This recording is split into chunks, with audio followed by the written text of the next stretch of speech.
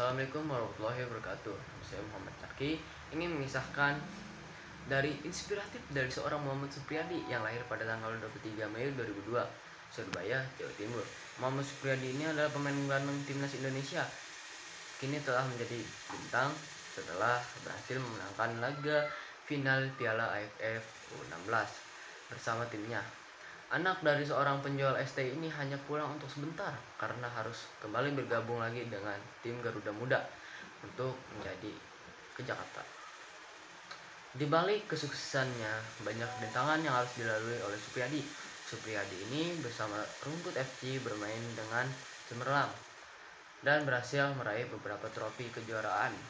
Namun saat mengadu nasib di Jakarta, Supriyadi mengalami pengalaman yang sangat cukup pahit gitu.